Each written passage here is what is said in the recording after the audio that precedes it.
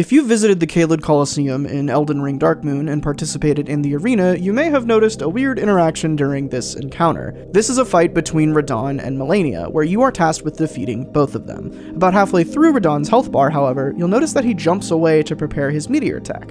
He does this in vanilla, but the key difference here is that in Dark Moon, during this encounter, he never comes back down. So, why does this happen? Welcome to the Elden Ring Dark Moon BTS series, an exclusive series of videos I'll make on occasion for the Patreon. If you want to see more like this, check out the Patreon in the link below. So, back to Radahn zooming away. To understand why he does this, I have to explain how it's happening first.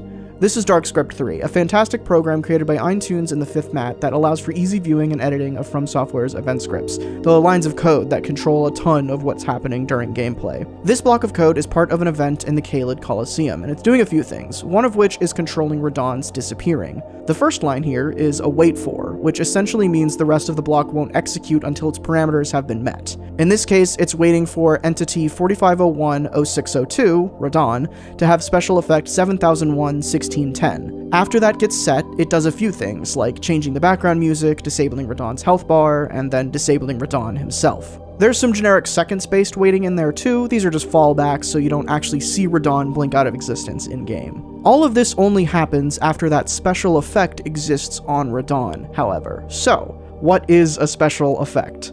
Think of them as an invisible marker on an enemy or the player that alters something about that entity's data. For example, when you equip the Crimson Amber Medallion, it applies the special effect 310000, which buffs your total health by 6%. Special effects are used a ton in From Software games, and importantly, they can be checked by the various sister systems in the game, like EMEVD, also known as event scripting. Back to Radahn. The special effect that's being checked doesn't actually change anything about Radahn, it simply exists on Radahn while he's jumping away, and because of that, this line in the script for his encounter gets triggered. Checking for effects that don't actually do anything is a very helpful way to trigger things in the event scripts. So, knowing that the event script is looking for this effect to be on Radahn, how do we put the effect on Radahn in the first place? Well, we could use event scripting and time how long it takes for Malenia to beat Radahn up enough for him to leave, but that would be wildly inconsistent, accounting for RNG and what the player might be doing. Maybe we could add a line into the scripting that checks for when Radahn's health is at 50% and adds the effect based on that, or simply disables him directly when his health gets that low. That could introduce similar issues, though, based on how much damage the player is doing in addition to Malenia. The actual jump away is handled by Radahn's AI script, which is a completely different system.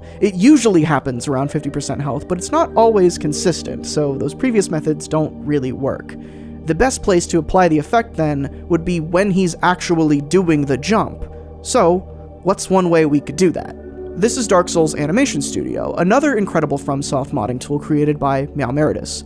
This allows us to view animations and edit their jump tables, also known as TAEs. These are little events displayed on a timeline in DSAS that control things like hitboxes, iframes, projectiles, visual effects, sound effects, and, importantly here, special effects. Let's take a look at Radahn's animation binder, which contains the jump tables for his animations. If we scroll down to the TAE for his big jump, we can see I've added this event here that applies the special effect 7001 1610, which is the one that the event script is waiting for, like I mentioned earlier. So Radahn does the jump, the effect gets applied to him, the event script triggers, and he disappears. Now that we know the how, let me explain the why. I'll start by disabling the block of code that makes Radahn disappear. Let's see what happens. He goes up. And, oh. Where'd he go?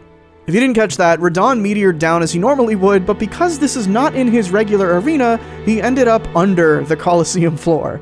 So how do we solve this? Well, there's a number of ways, and this is a design challenge that is a lot of fun to tackle, and one that comes a lot when modding a game. Taking an existing system designed for one area and moving it to a new area, then fixing the issues that came along with that move.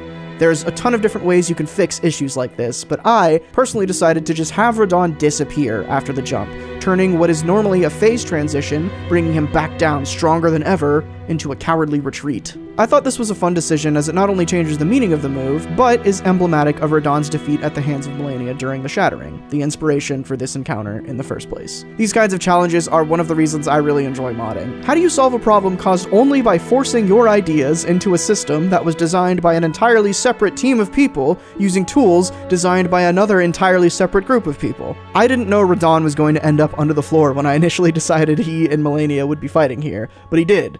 So I had to come up with a solution. If you want to see more content like this, the behind the scenes of Dark Moon's development, please join the Patreon. It helps a lot, and from here on, these videos will be exclusive to that page. I have a few more videos planned currently, including an early tour of a new feature coming to 1.4, a breakdown of the trailer for 1.3, a look at the methodology of the arena, and more. So stay tuned, and thanks for watching.